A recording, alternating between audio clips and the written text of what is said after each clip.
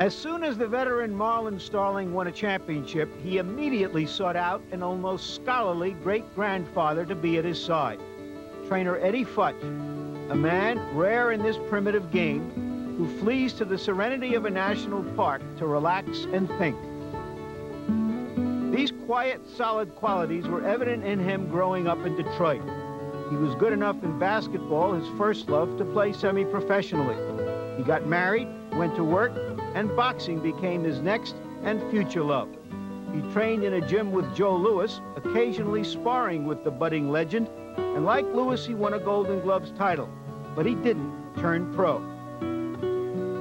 Those were the Depression years, and everybody that had a job was lucky. So I had this job, and I was working hard. And sometimes I worked 17 hours a day in order to take care of my growing young family. Um, in the afternoon, I had a split shift job. I would go in the morning, get, be off in the afternoon, then go back and work in the night. And uh, I was training hard, working hard, and fighting on my day off. And uh, I did this for about three years, almost four years before it finally started to tell on me physically. Whatever chance Futch had to make a living as a fighter ended with the discovery that he had a heart murmur but his analytic approach to this rough, mean sport led to a very good living and championship stature as a trainer. In 1958, he had his first champion, the welterweight Don Jordan. In the next three decades, he was associated with some of the best prize fighters of our time, Bob Foster, Joe Frazier, Ken Norton, Alexis Arguello, Larry Holmes, Michael Spinks, to name just a few. Marlon Starling wanted him for the same reason others have. His confidence-giving ability to pinpoint a problem and its solution and to communicate it simply. His fighters don't need a jockey with a busy whip. We only got three minutes! Yeah! Come on, baby! We can rough you around. You got your hooks, you double and triple hooks from the inside. And he's strong inside. I know he's strong inside. Don't lay inside doing nothing, you know. You're out of there. When you get inside, work with both hands to the body, and then shift to the head, okay? I have never been a driver. I've always tried to be a leader. And uh, I've been able to achieve a, a great deal of my results uh, working that way. And um, I've always found that um, you can't tell a fighter too many things in a corner. He won't remember them. You tell him the things that are most important.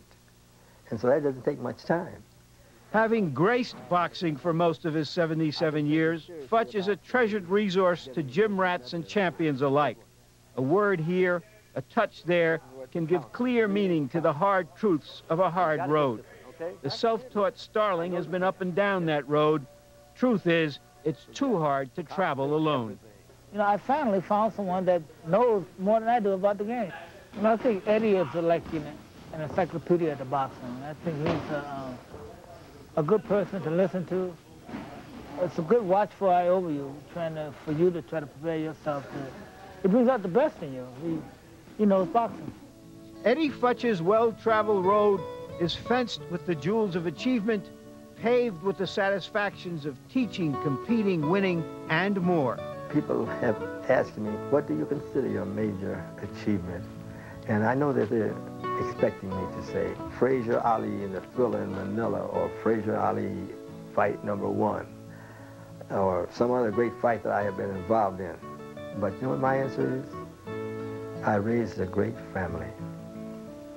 I think that's the, the, the greatest thing that anybody can do on this earth. There is Marlon Starling as he enters the ring, and it's a mark of two of the many sides of his character, proud arrogance and willing curiosity that he says of Eddie Futch, I finally found a man who knows more about boxing than I do.